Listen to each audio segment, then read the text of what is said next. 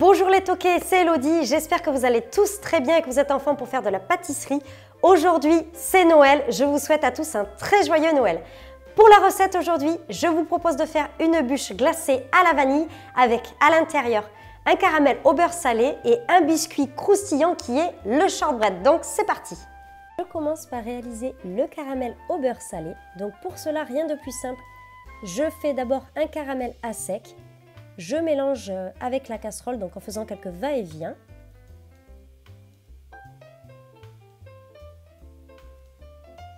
Ensuite, une fois qu'il est brun, je vais rajouter la crème chaude en deux fois. Donc faites attention de ne pas vous brûler parce que vraiment, avec le caramel, ça peut aller très très vite.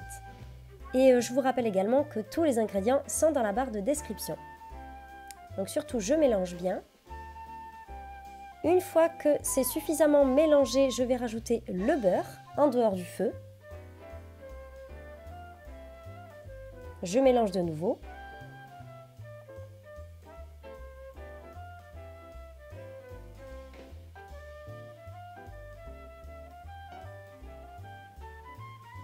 Ensuite, je rajoute bien sûr la pincée de sel.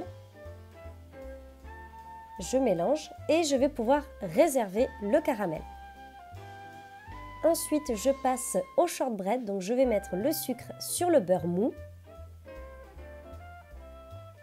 Je vais mélanger les deux. Donc, on appelle ça crémer le beurre. Ensuite, je rajoute le mélange levure et farine à notre beurre crémé.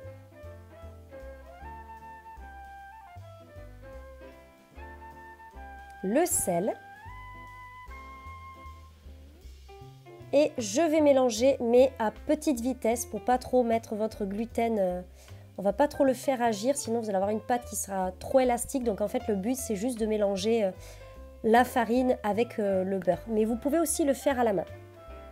Voilà, ensuite on obtient cette consistance.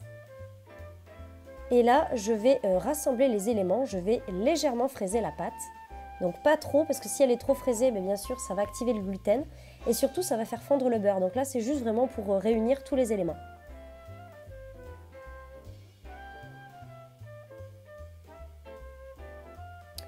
Alors ensuite, je l'ai passé un petit peu au frais et là, je l'ai abaissé sur environ 2 à 3 mm parce que je voulais vraiment quelque chose de très friable.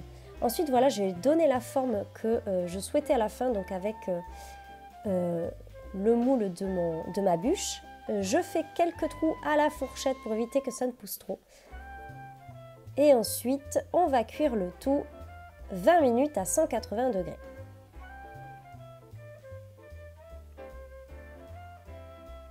Ensuite, je passe à la glace vanille. Donc, euh, dans ma crème et mon lait, je rajoute une gousse de vanille grattée avec la gousse.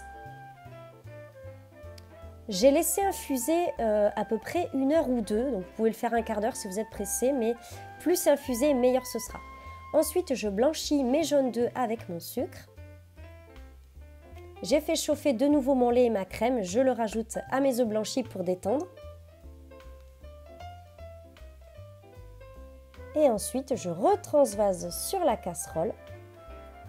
Donc en fait, il s'agit d'une crème anglaise. Donc on va cuire à la nappe jusqu'à environ 83 degrés en euh, vanant, donc c'est-à-dire en faisant des va-et-vient avec euh, euh, la spatule, donc en faisant des mouvements de 8 dans la crème anglaise.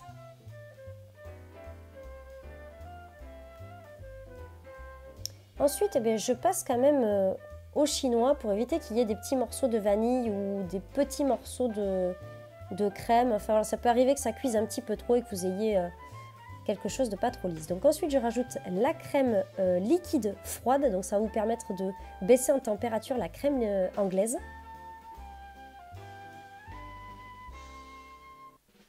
Ensuite je filme au contact et je laisse bien refroidir et là pour accélérer euh, j'ai mis quelques pains de glace voilà, pour avoir une crème qui descend plus vite en température.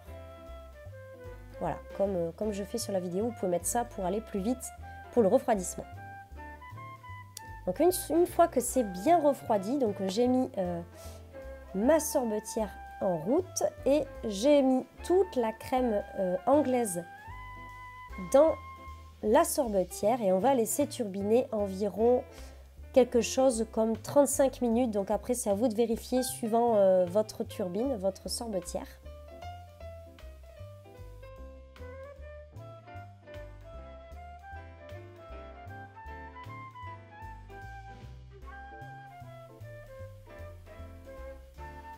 Voilà, donc à la fin, on va obtenir une belle glace comme ça, euh, bien prise. Ensuite, donc, j'ai rempli mon moule à bûche. Donc, j'ai rajouté euh, une empreinte qui est euh, quadrillée. Donc, après, vous mettez n'importe quelle empreinte que vous souhaitez. Vous pouvez la mettre lisse. Voilà, moi, je voulais donner cet effet un peu quadrillé. Donc, surtout, il faut bien en mettre sur les côtés. Donc, bien remonter avec la spatule. Bien en mettre au fond. Voilà, comme je fais sur la vidéo. C'est tout simplement pour qu'au démoulage, vous n'ayez pas de manque. Ce serait dommage. Ensuite, alors euh, je ne l'ai pas mis sur la vidéo, mais vous pouvez faire euh, avec la recette que je vous ai donnée un autre petit shortbread et le mettre au fond pour avoir plus de croustillant dans la bûche.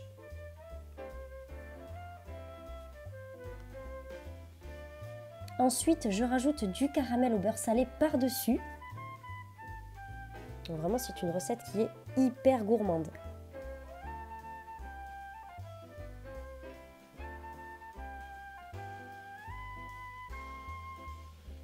Ensuite, eh je recouvre de glace.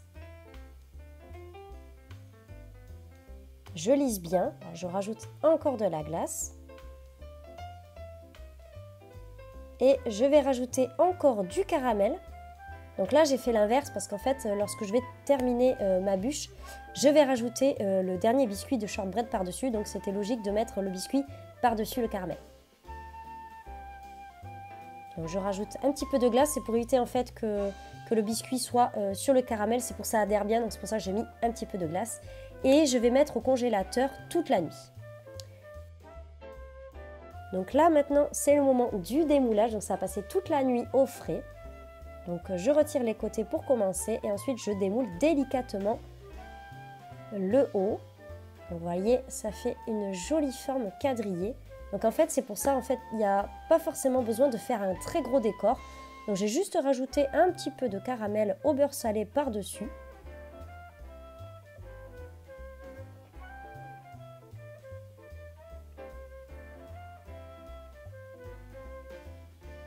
Donc après, vous en mettez vraiment la quantité que vous souhaitez.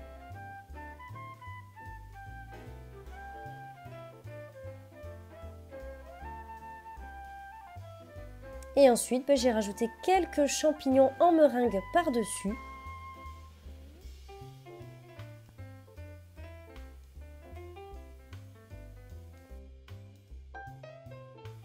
Et j'ai même mis quelques amandes par-dessus, vraiment testé, c'est une super bonne glace maison. La recette est terminée, j'espère que ça vous a plu. N'oubliez pas de mettre plein de pouces en l'air, de vous abonner également si ce n'est pas encore déjà fait. Dites-moi en commentaire si vous allez faire cette bûche ou dites-moi tout simplement si vous avez réussi à la réaliser. Et je vous dis à très bientôt pour de nouvelles recettes. Salut